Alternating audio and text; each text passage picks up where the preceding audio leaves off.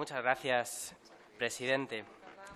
Eh, yo querría empezar agradeciendo la oportunidad de entre en esta atmósfera de tanto ruido, de gravísimas acusaciones, de la tiranía de la sospecha permanente y de la intoxicación, de tener la oportunidad en sede parlamentaria de explicitar con argumentos cuál es la postura de nuestro grupo respecto a la cuestión que nos compete.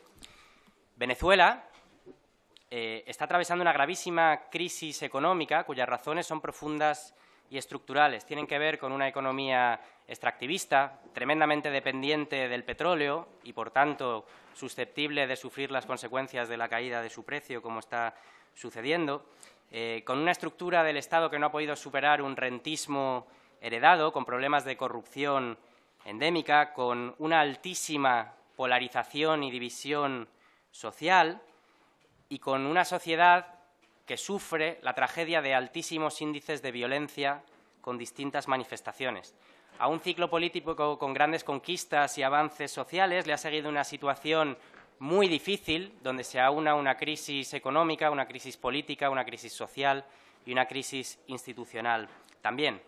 Como todos los países latinoamericanos, Venezuela es un país amigo y hermano del nuestro y también supone un interés geopolítico y geoestratégico esencial, toda la región, para nuestro Estado. Ahora, la pregunta que yo querría hacer es, ¿cuál es la mejor manera de ayudar a ese pueblo hermano, al pueblo venezolano? Facilitando, como sugieren los países vecinos de Venezuela, como sugiere la UNASUR, como sugiere la CELAC, como ha sugerido el Papa Francisco, mecanismos de diálogo, de cooperación, de reconciliación, de resolución de conflictos que puedan garantizar la paz social, el fortalecimiento de las instituciones democráticas, también la fiscalización por parte de organismos internacionales y el cumplimiento de los derechos humanos?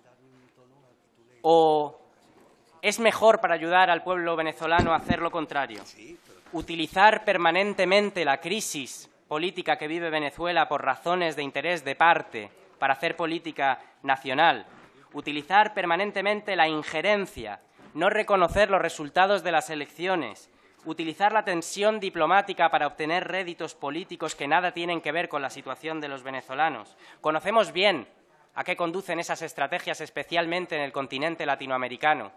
No queda tan lejos la memoria de los sucesivos golpes de Estado que desangraron a las sociedades de estos países hermanos y produjeron decenas de miles de víctimas y desaparecidos. No queda tan lejos, entre otras cosas, porque ha habido recientemente golpes de Estado en Honduras, en Paraguay y también, señores del Partido Popular, en Venezuela en el año 2002. Y qué vergüenza, qué vergüenza que aquel golpe de Estado que puso al presidente de la patronal venezolana como presidente del país fuera apoyado solo por dos gobiernos en el mundo, el de los Estados Unidos, el de España, y también por un editorial de infausto recuerdo del grupo Prisa.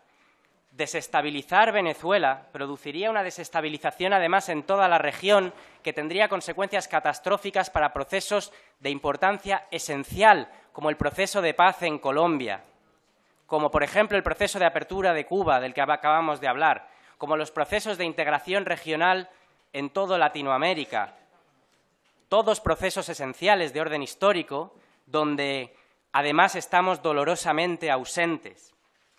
Una política exterior responsable, comprometida con el interés de Estado, ofrecería mediación y colaboración de nuestra parte, eh, utilizaría su influencia y su capacidad diplomática para facilitar el hallar una solución a la crisis que atraviesa el país. Esa es la dirección de las enmiendas que hemos presentado eh, y que creemos que podrían suscitar unanimidad entre los miembros y los grupos de esta comisión. Pero ¿cuál es el problema? Digamos la verdad. La verdad es que el interés prioritario que persigue algunas de las fuerzas políticas representadas en esta Cámara con este tema no es la defensa de los derechos humanos. Es una inmensa operación político-mediática de intoxicación permanente, nutrida de mentiras y gravísimas acusaciones que no duda en utilizar los aparatos del Estado para perseguir fines de parte y desde aquí volvemos a pedir una vez más la dimisión del ministro del Interior por las gravísimas fabricaciones que se han producido recientemente para neutralizar a un enemigo político, a un adversario político, de manera completamente espuria. Repetir permanentemente la palabra Venezuela, convertirlo en un tema de política interior, no se hace por una cuestión de compromiso por los derechos humanos. ¿Dónde está ese compromiso con los derechos humanos? ¿Dónde están las portadas? ¿Dónde están los editoriales y las tertulias respecto a los 120 periodistas muertos en México?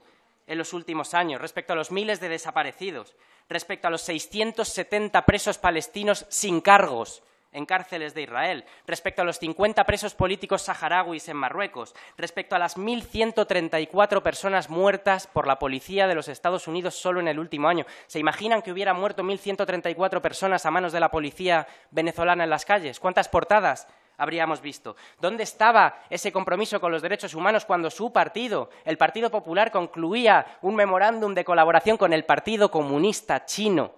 Ni más ni menos, el Partido Comunista Chino. ¿Dónde está ese compromiso cuando mueren dos niños ahogados en nuestras costas cada día sin que pongamos solución política para ello, teniendo los medios? ¿Dónde está ese compromiso respecto a la situación de los derechos humanos en Panamá, tan de moda en estos días. No les importa para llevarse el dinero allí, ¿verdad?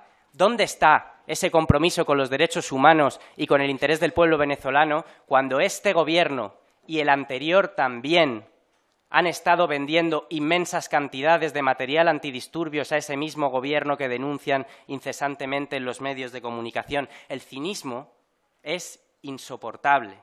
Esta utilización no es que sea mala para mi grupo político, es mala para la calidad de la democracia española, es mala para la política exterior de nuestro país, es mala para los intereses de Estado. Por eso yo les pido, con el mejor afán constructivo, que acepten nuestras enmiendas a esta proposición no de ley, que facilitemos de manera consensuada el diálogo para la resolución de conflictos, que utilicemos nuestra diplomacia y que dejen de utilizar la política de Estado para perseguir fines partidistas. Muchas gracias.